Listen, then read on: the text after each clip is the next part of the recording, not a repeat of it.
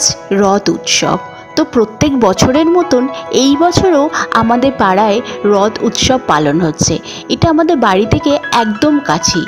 হয়তো এই মেলাটা অনেক ছোট, কিন্তু এখানে খাবার বসার কোনো কমতি নেই। কারণ এখানে সব ধরনের খাবারই কিন্তু পাওয়া যায়। এটা আছে বাদাম ছাপা, এর পাশেই আছে ভুট্টা, তার পাশে আছে ফুচকা গুড়ের জিলিপি, এই ধরনের সমস্ত খাবারই কিন্তু এই মেলাতে পাওয়া যায়। হ্যালো বন্ধুরা আই এম ব্যাক চলে এসেছি তোমাদের সামনে আজকে একটা নতুন একটা অন্য রকম ব্লগ নিয়ে। নতুন ব্লগ বলব না অন্য রকম ব্লগ কারণ আজকের ব্লগটা সম্পূর্ণ আলাদা অন্যান্য দিনের মতো নয়। আজকে আমি দেখাবো তোমাদেরকে এমন একটা ব্লগ যেটা দেখে তোমাদের ভীষণ ভালো লাগবে। আর আজকে যে জায়গাটা তোমাদেরকে আমি দেখালাম, সেটা আমার বাড়ি থেকে তিন থেকে চার মিনিট লাগে। একদম বাড়ির কাছে, একদম বাড়ির কাছে। মানে ওখানেই মেলা হয়। ছোটোবেলায় খুব যেতাম, বড় হয়েছি। এখন মেলায় যাওয়ার আগে দশবার ভাবতে হয়, দূর, এখন তো বড় হয়ে গেছে। এখন আবার রথের মেলায় যাব, সে তো বাচ্চারা যায়। আজকে রথ উৎসব, তো তোমাদের সবাইকে জানাতে চাই আমার তরফ থেকে অনেক শুভেচ্ছা, ছোটদের অনেক ভালোবাসা, বড়দের প্রণাম। বিভিন্ন সময়, বিভিন্ন টাইমে বিভিন্ন সিচুয়েশানে দেখবে খাওয়ার একটা ক্রেজ থাকে। যেমন এই রথের সময়, কিছু হোক না হোক, মেলায় গেলে কিন্তু আমরা দুটো তিনটে জিনিস ঠিক কিনি। কি বলো তো বাদাম ছাপা, চিড়ে ছাপা, তারপরে ভুট্টা, এই জাতীয় জিনিসগুলো দেখবে আমরা রথের সময় ঠিক খাবোই খাব। এরকম একটা, জিলিপি, এই জিতা জিনিসগুলো অবশ্যই খাই। তেমনই দেখবে বর্ষার সময় কিছু হোক না হোক, বাজারে গেলে, মাছ কিনতে গেলে ইলিশ তো থাকে, তার সাথে কিন্তু মাছের ডিমটা। ও মাছের ডিমের বড়া, মাছের ডিমের ঝাল, কি দারুণ লাগে। আজকে নিরামিষ এইসব বলছি, যাই হোক। তো বর্ষার সময় ওই জিনিসগুলো, সে এমনই দেখবে জামাই ষষ্ঠীতে কিছু হোক না হোক, কাঁঠালটা কিন্তু খুব বিক্রি হয়। কাঁঠাল, ইলিশ, আম, এই জাতীয়, আর বৈশাখে আম। মানে বিভিন্ন টাইমে দেখবে ক্রেজ থাকে, সেই সেই জিনিসগুলো খাবার খুব ক্রেজ থাকে। লিচুর সিজনে দেখবে লিচু খেতে ভীষণভাবে ইচ্ছা করে, যারা ভালোবাসে আর কি আমার মতো। তো সেরকমই আমি তোমাদেরকে দেখাবো বিকেলের পুজোটা মানে আজকে যে রথ, বিকেলের পুজো, সকালবেলা আমি ফুল মিষ্টি দিয়ে আমি ঠাকুর পুজো করেছি। তো বিকেলবেলা আমি ঠিক কী কীভাবে বা কি কি করে কি নিয়ম মেনে পুজো করি, সেটা আজকে তোমাদেরকে দেখাবো। এটুকু বলতে পারি, খুব ভালো লাগবে। আর আজকে কিন্তু ডে ওয়ান আজকে এখন থেকে রাত্রে রান্না অবধি আমি কি করছি সেটা তোমাদের সাথে আজকে দেখাবো। আর রাত থেকে কালকে পরের দিন দুপুর অবধি কী করছে সেটা ডে টু অবশ্যই তোমাদের সাথে শেয়ার করব। তো আজকের ভিডিওটা কিন্তু ডে ওয়ান আর ডে টুটাও কিন্তু তোমরা দেখতে মিস করবে না, ঠিক আছে? প্রথমে আমি ঠাকুরের বাসনগুলো এই জায়গাটায় বসে ভালো করে মেজে নিই। কিন্তু ঠাকুরের বাসন মাজার আগে, তার আগে আমি একটা কাজ সেরে রেখেছি, সেটা হলো ঠাকুর ঘরটা আমি পুরো ঝাঁট দিয়ে রেখেছি। আর এখন দেখতে পাচ্ছ পুরো ভালো করে, পরিষ্কার করে আমি ঠাকুরের বাসনগুলো ঝকঝকে করে মেজে নিলাম। আর ঠাকুরের বাসন মাজা হয়ে গেলে এখান থেকেই আমি ঠাকুরের জল ওই ছোট ছোট গ্লাসগুলোতে ভরে নিলাম। এবার আমি চলে যাব আমার ঠাকুর ঘরে।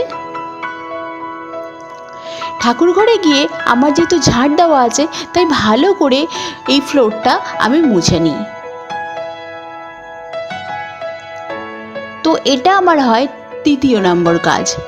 প্রথমে ঝাড় দেওয়া তারপরে বাসন মাজা, আর তারপরে এই ঠাকুরঘরটা পরিষ্কার করা। আর তারপরে আমি সপ্তাহে যেহেতু দুদিন আমি ধুনো দিই, তাই আমি বাইরে বসেই কিন্তু নারকেলের ছোবড়াগুলো আমি এই ধুনোর মধ্যে সাজিয়ে নিই।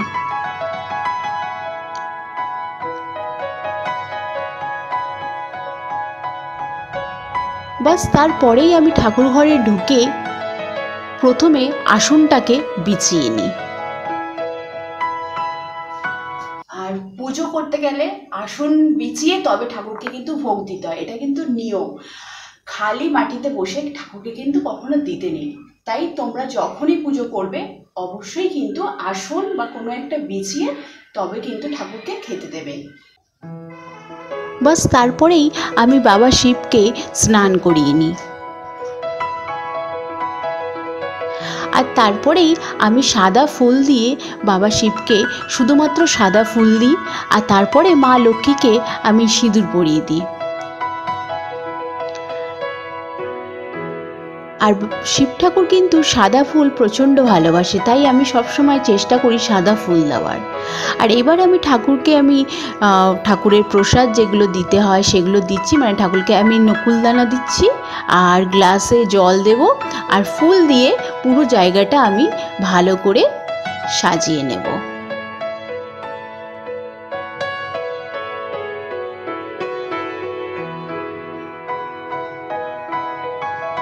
বাস, এবার আমি ধূপকাঠিটা জ্বালিয়ে দেব।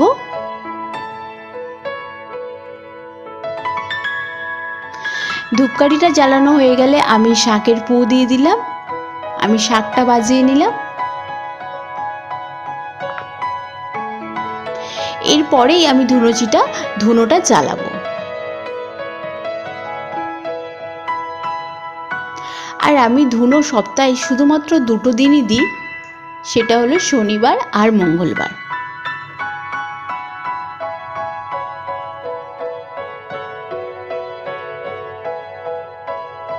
বাস, আমি ধুনোচি দিচ্ছি, আমার ধুনো দেওয়া হয়ে গেছে, এবার এটাকে ভালো করে আমি ঠাকুরের সামনে ঘুরিয়ে নেব।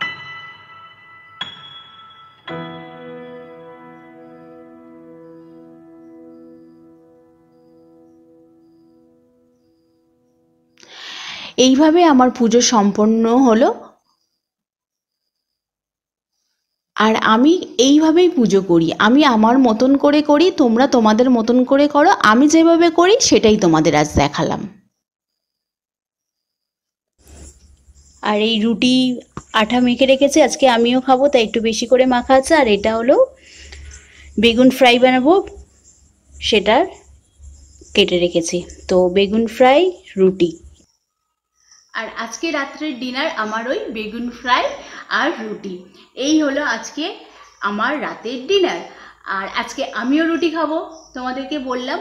আর হ্যাঁ তোমাদের আজকের ব্লগটা কেমন লাগল অবশ্যই কিন্তু আমাকে কমেন্ট করে জানাবে। আমি যেভাবে পুজো করি, আমি যেই নিয়মে পুজো করি, সেটা কিন্তু তোমাদেরকে দেখালাম। কারণ তোমরা বিভিন্ন জন বিভিন্ন রকমভাবে করে, আমি বিকেলের পুজো সপ্তাহে দুদিন ঠিক এইভাবেই করি।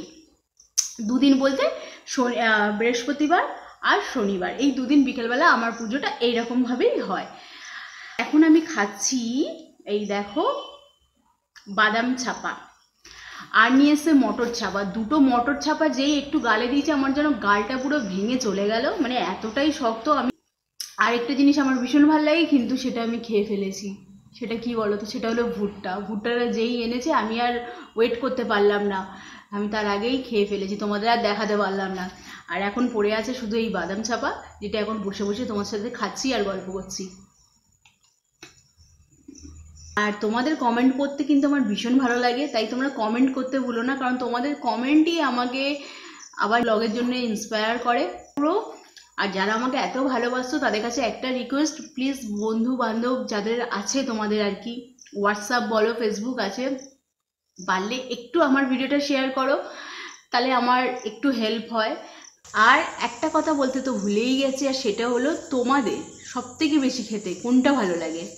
সেটা কিন্তু আমাকে অবশ্যই জানাবে এই রথের জন্য স্পেশালি বাদাম ছাপা, না মটর ছাপা, না চিড়ের ছাপা, না ভুট্টা?